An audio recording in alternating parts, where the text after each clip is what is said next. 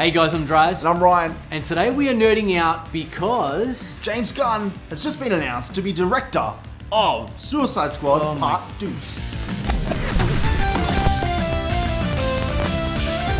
he's jumped from Marvel to DC. Very smart, Mr. Gunn, because we love you regardless where you go, and we want to see you producing more of these superhero flicks. Of course. And why not jump over to DC if Marvel doesn't want him and he wants to make more uh, superhero movies?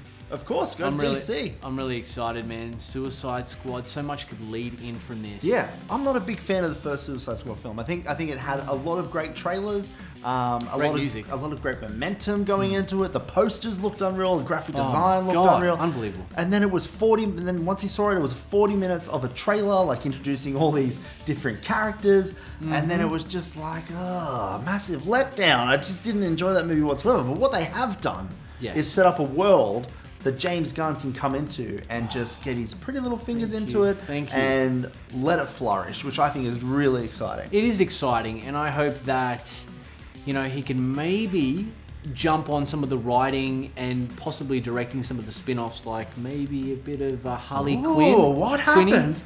Maybe, maybe Mm, because I think, you James know... Gunn yeah. could be the Kevin Feige of DC. He probably could be, and I think he can really revamp the entire DC um.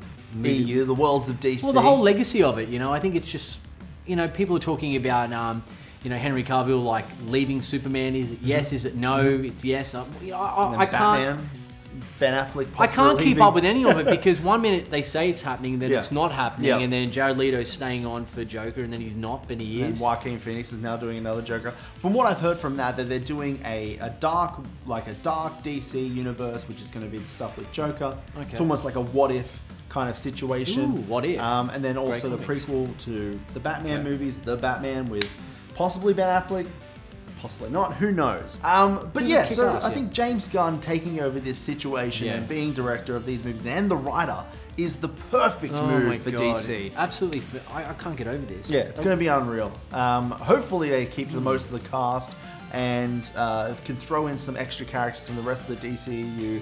But I'm super excited and I'm absolutely nerding hmm. out about James Gunn. Me too. Directing and writing Suicide Squad Part Thank you, James two. Gunn. Yes. We worship you. worthy, we worship you. All is forgiven from us. It was a joke. Move on. it was. It was. Yeah.